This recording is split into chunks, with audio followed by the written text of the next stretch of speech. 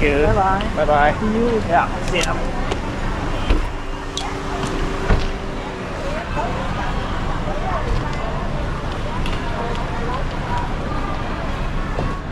えー、タンソニアット国際空港の方に到着いたしました。いやー、なんかすごい混んでますね、ぐるーっと回っちゃうと。で、今、時刻がですね、だいたい17時40分ですね。で僕が乗る、まあ、飛行機、まあ JAL70 便だったっけな。確か23時20分で、まあ、全然早いんですけども、えっと、どの道ですね、あの、ホテル6時にはね、出ないといけなかったので、まあそこでね、あのままホテルずっといたらね、もう寝ちゃいそうだったので、まあちょっと早かったんですけど、出てきましたっていう感じです。ジャカルタの時もだったんですけど、空港に行く時の車がなぜかね、今までグルアブで呼んだ中で一応ボロいのがね、と来がちですね。あとね、ジャカルタの時と同じでね、まあ結構年配のね、おっちゃんだったんですけども、とにかくね、ギアチェンジ早すぎ。だからもうね、ガクガクガクガクしててね、もうすごいね、乗り心地悪かったです。もう、そこもね、ジャカルタと同じでしたね。今夕暮れ時で、まあ、真っ平場に比べたら涼しいっちゃ涼しいんですけども、え気温がですね今も33度ございますので、えーま非常に暑いとで、まあ、ただ暑いだけだったらいいんですけどすごいねもうまとわりつく暑さなんですよねでまああのホテル出てくる前に軽くシャワー浴びてで、まあ、T シャツとか全部取っ替えてきてるのでもうねあ汗もかきたくないので早速ね中の方に入りたいと思います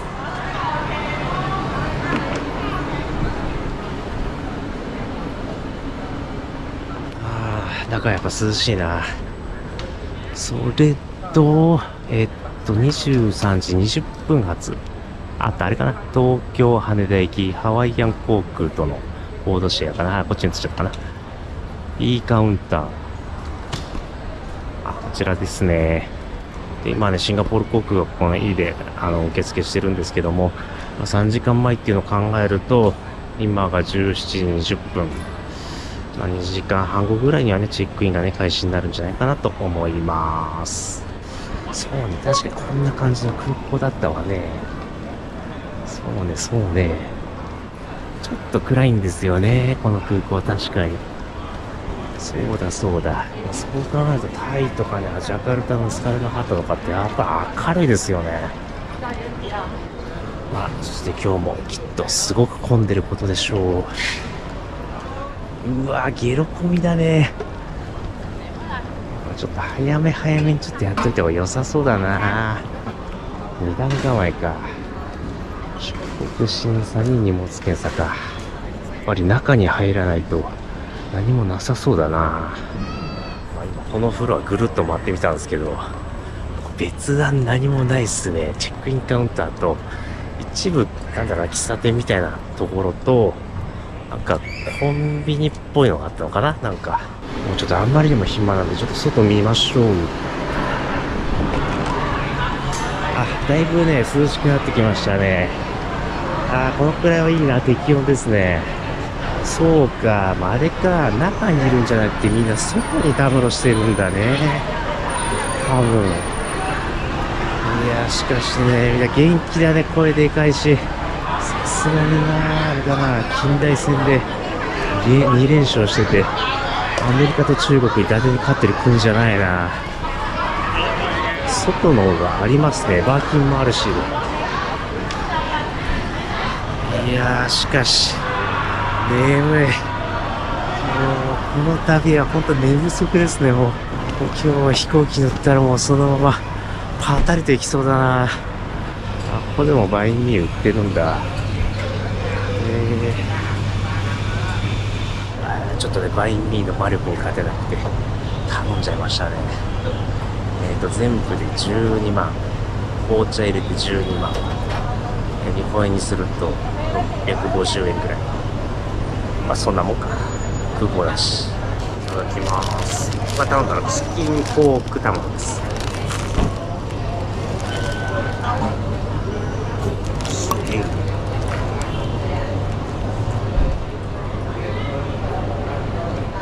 多分ベトナム版って感じじゃないですか？うまいですね。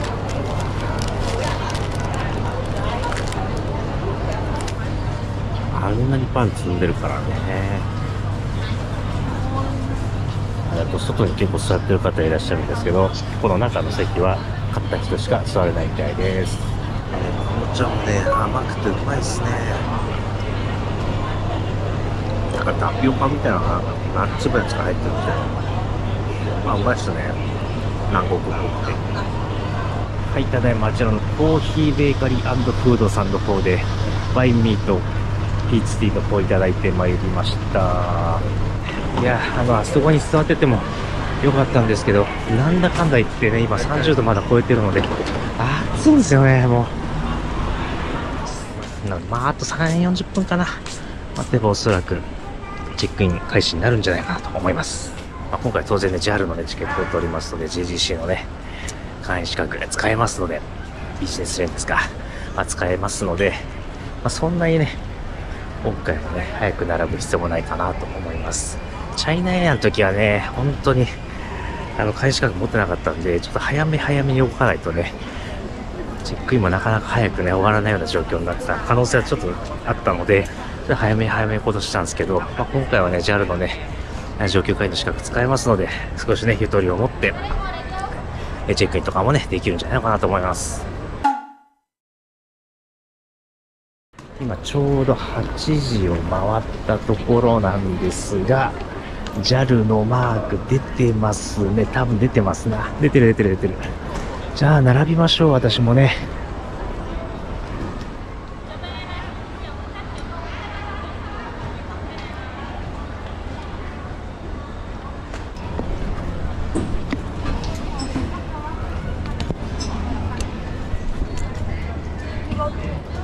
Hi to Haneda. Yes. You check-in online already, sir? Yeah, Yeah, but not issue the ticket. Yes. さあさて、今、本検査終わって、制限エリアの方にね、入りましたということで、えっ、と、ラウンジどこにあるんだろうな。これ聞いた方が早そうだな。あ、excuse me, sir. Um, I'm looking for the Sasko Lounge. Sasko Lounge? Yes. Okay. Over there. Over there. Yeah, thanks. これか。こっち？あ、ここね。あ、ここがサスコーラウンジか。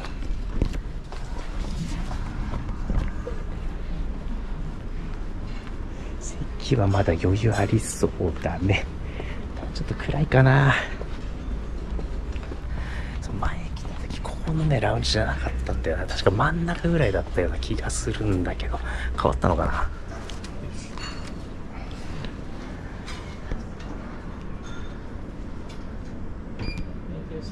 Thank you. Oh, thank you.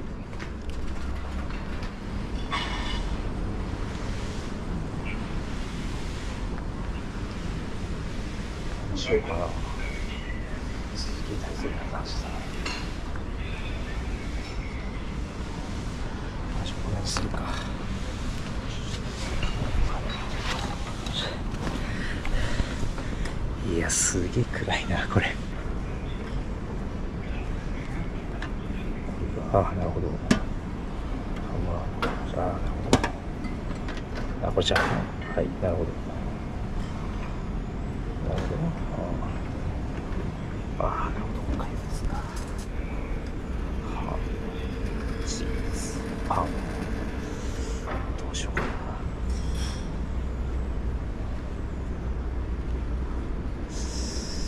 うしよう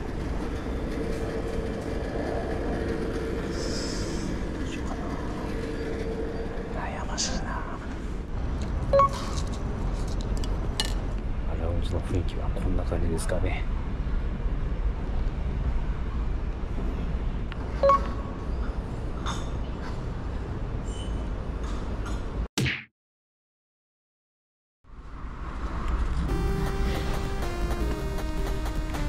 やばいやばい。もうラウンジでゆっくりしてる暇なくなくなっちゃったな。JAL グローバルクラブのステータスカードを落としちゃったな。なんてこったい。してもらってたっけな困ったなちょっと来月もなあのカード使うからなちょっとなくなると困るんだよな使い勝手悪くなるからそもそも再発行してくれんのかなあのカードちょっと JAL のころついたら聞いてみますか。えー今、あちらのですね、あの、カウンターで聞いてみたらですね、えっと、チェックインカウンターに忘れてるそうです。なので、えー、ボンネグするときにくれるそうです。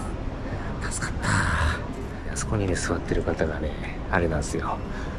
ベトナムエアの方なんで、日本語通じないんですよ。こういう時にね、ちょっとね、英語喋れてね、よかったです。助かった。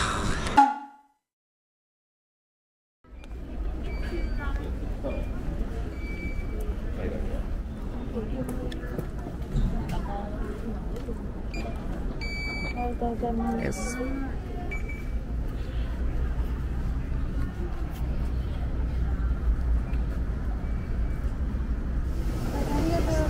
手前の通路から上がります。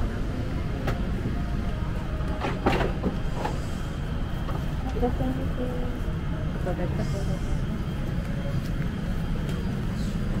ただいまですね。えー、着席いたしました。今日は混んでそうですね。からお手荷物が安全に収納されていることを確認いたします。皆様の手荷物はお荷物にご注意 The door is now closed. We are ready for departure. Please take this and fasten your seatbelt. はじめましてありがとうございます。この便は日本航空70便、アメリカン航空、ハワイアン航空とのコード制便でございます。今日は小島、片岡、私は片桐と7名の乗務員がご一緒いたします。Let me remind you that the use of the plate and or other devices that emit a radiator is against the law.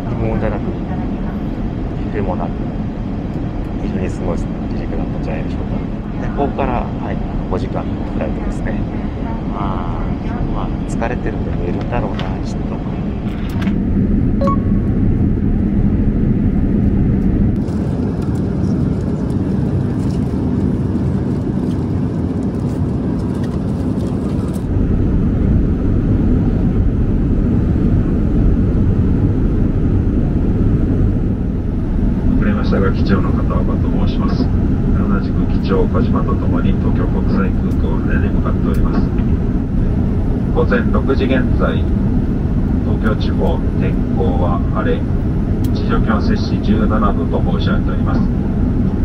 えー、ベトナムからのお戻りのお客様、えー、気温が肌寒く感じられるかもしれません。どうぞ体調と崩さませんよう、最終目的地までお気をつ、えー、お気をつけてお進みください。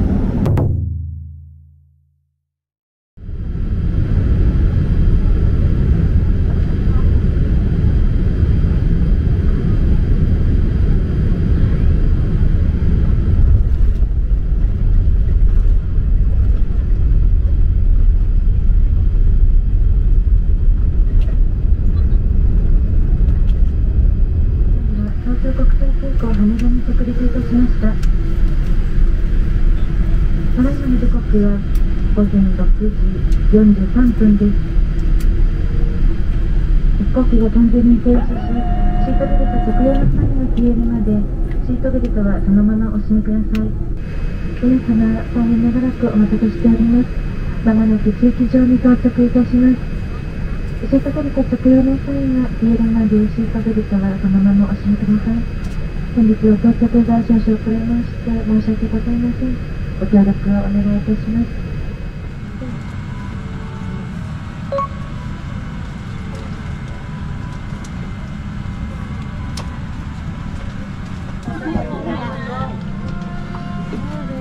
どうもありがとうございました。お願いします。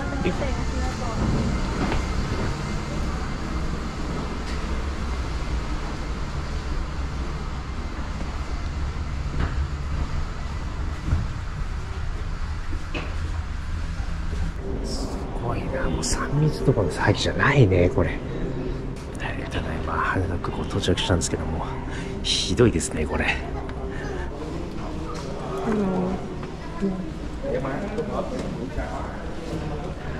こっちが、えーえっと、国際線乗り継ぎ、こっちがアライバルみたいです。何やら微妙な雰囲気だよね、これね。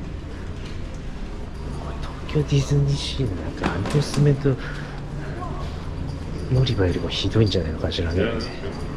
あーすげえな、これ確かに。どうぞ日本入国のお客様はこのまま。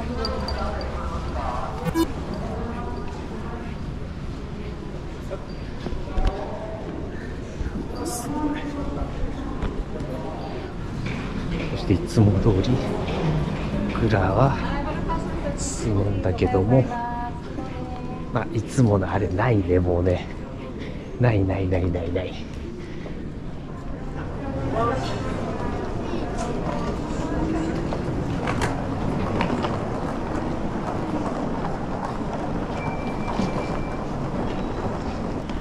ただいま無事に帰国いたしました。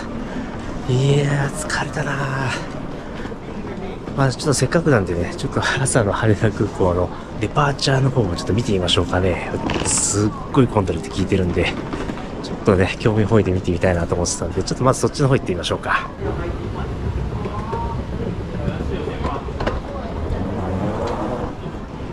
で結構デパーチャーのところがえげつない混み方してるっていうのは聞いてたんですけどもさっきの国際線乗り継ぎとかよっぽどえげつない感じがしたんだけどどうなんだろう？混んでるっちゃ混んでるねでも。混んでるっちゃ混んでるけど普通。普通だな混み方は。混んでるじゃ入んないよなこれでも。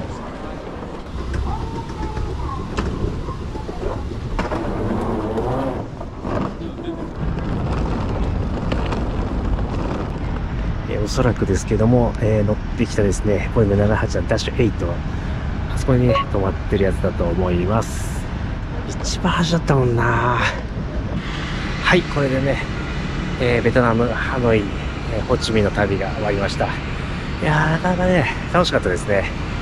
まあ僕はね、今までね、ベトナムに対してね、結構苦手意識がありまして、もう行けばね、必ずね、かなり、えー重たいね、下痢に悩まされてたんですけども、今回はですね、一度もそんなこともなく、えーご飯もお酒も、とても美味しく食べさせていただきまして、まあ非常にね、大満足な旅だったんじゃないでしょうか。えー行きのルートはですね、成田からハノイに入って、で、ベトナム国内に関しましては、えーベトナムエアの方で、ハノイからホーチミン、そしてホーチミンからですね、えー東京羽田空港の方にですね、JAL の方で、まあ、帰ってきた次第でございます。でも、えーこの日はですね、ゴールデンウィークのちょうど真ん中ぐらいでございまして、あの、例によって例のことか、あの、4月29日のですね、現役、えー辞めるというか、あの、リヒットウェブジャパンの運用ですね、もう辞めた後の、えー日に来てるんですけども、あの、本当にやってませんでした。よかったです。でただ、国際線乗り継ぎですかね、まあ、異常に並んでて、ちょっとひどいなと思いましたね。あれ多分入り口ちょっと広げてあげないと、もう本当溢れちゃうんでしょうね。う設計が、もう今の需要に対して、この建物の設計がちょっと追いついてないのかもしれないですね。ちょっとあれは見ててかわいそうだなと思いました。あの、外国人向けのイミグレーションですが、あれもひどかったですね。あれ多分抜けると30分以上かかるんじゃないかなと思ったんですけども、あの、ハノイもちょっと見ててひどいなと思ったんですけども、ここね、東京羽田空港もですね、もうなかなかひどかったです。ちょっとあそこはね、写真撮れないので、まあ、ちょっとポートでご説明するしかないんですけども、とにかくめちゃくちゃ並んでました。それと間違えて日本人用のパスポートのところに来て、あの、なんだろうな、顔認証で、あの、抜けようとしてるね、あの方が何人かいらっしゃったんですけども、まあ、そういったね、あの、間違えてる方も結構いらっしゃったので、あの、ちゃんと、あの、こっち日本人パスポートよ、こっちは外国人よとか、オールパスポートよとか、まあ、そんなような感じで、もっと分かりやすい形で運用した方がいいんじゃないかなと思いました。ちょっとね、あの、他の諸外国に比べると、そこの区別がちょっとつきにくい空港なんじゃないかなというふうに私は思いました。はい。それと最後にですが、えー、ホチミンのね、空港で、なくなったと思っていた JAL グローバルカードのメンバーシップカードなんですけども、ダダーンっていう形で、えー帰ってきました。で、どこでこれなくしたかというと、あの、チェックインするときに、一応パスポートと、あの、このカード一緒に渡してたんですね。で、戻ってきたときに、チケットとラウンジの招待券だけが入ってて、このカードを挟むのをどうも受付の方が忘れてたらしいです。で、一応それで、あの、確認してみたところ、あ、ありますんでご安心ください。後で持ってきますということだったんで、えボーディングの相談が15分ぐらい前に持ってきていただきまして、ことなきを得たという感じでございました。本当にね、嫌な汗出ましたね。はい。でまあ、今回はね、あの、日本から、えーベトナム、ベトナムから日本の便に関しましては、同じ機体ですね、78のダッシュ8だったので、まあ、僕はやっぱ乗ってて楽だったのと、あと席もですね、えっ、と、行きも帰りもですね、同じ、あの、バルクヘッドのシートで、行きは K の方で、帰りは A の方で、まあ、ちょっと逆の方乗ってみたんですけども、まあ、なかなかね、足元も広いのでね、すごく快適でした。まあ、もろもろな、ね、理由で、まあ、今回のベトナム旅行、うまくいくかなって、内心ね、ちょっとドキドキだったんですけども、まあ、結果終わってみればね、すごくね、えー、大大満足な旅だったんじゃないでしょうか。まあ、帰りもね、まあ、ジャルで帰ってきたんですけども、ちょっとね、一個だけね、うん、会社としてそれ大丈夫っていうところがちょっとありまして、4月29日0時0分から、あの、例のそのビジットジャパンウェブの、そのワクチン接種証明書とかのアップロードとか、そういうのってもう原則運用停止になってると思うんですけど、JAL の人それ知らなかったんですよね。おいおいおい、会社としてそれ大丈夫かと。大臣が記者会見して、普通にリーク記事がたくさん出回ってるにもかかわらず、JAL 知らなかったらしいんですよ。昨日かな？昨日だね。昨日、一昨日か。一昨日の段階でも、えっ、と、ビジットジャパンウェブの確認をしてくださいっていうのが、どうも本社からあったらしくて、いやいやいや、それはダメでしょう、みたいな感じだったと思います。あのー飛行機降りて、まあ、いつも通り、あのイミグレーションの方に行ったらですね、あの、わしゃわしゃといた人がですね、まあ全員いなくなっておりまして、やっぱやってないよねっていうのは、まあ、確認できたのが良かったんですけど、まあ、会社としてそれを知らなかったとか、会社としてそういう通知をしてないっていうのは、ちょっと僕はね、疑問がちょっとあったかなっていう感じはしました。電子申請しかダメって思い込んでいるちょっと支援の方もいて、いや、そんなことなくて、電子申請とカード審査が並行運用でできていて、問題ないということは、まあ、私の方からもちょっとお伝えしてあげたんですけども、ちょっとそういうところが全然なんか知られてないっていうのは、ちょっと、うーん、どうなんだろうねっていう感じがしましたね。チェックインカウンターであのグランドスタッフの方はビジットジャパンの確認してなかったんですよね。あのワクチン接種証明書の方もあの確認してなかったので、グランドスタッフの人は多分分かったと思うんですけど、本体のですね、あの支援の方は全然存じ上げてなかったっていうのが実情だったと思います。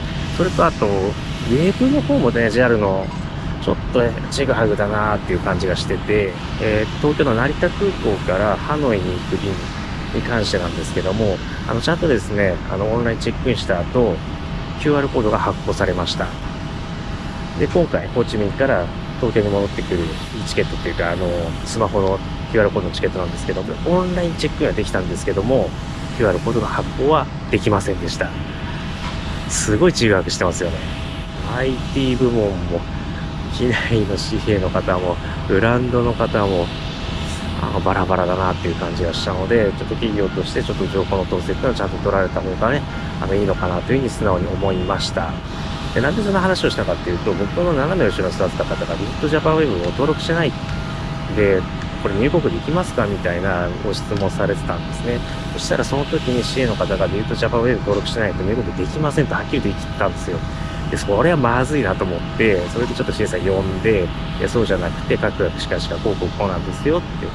で、一度それは高額にした方がいいんじゃないですかっていう形で私の方から申し入れさせていただきました。飛行機会社の方が知らないので結構やばいと思いますよ。って思いました。はい。こんな感じでゆるい動画いつも作っておりますので、もしよろしければね、チャンネル登録とかしていただけるとすごく励みになります。それでは、本日はこの辺りで失礼したいと思います。さよなら。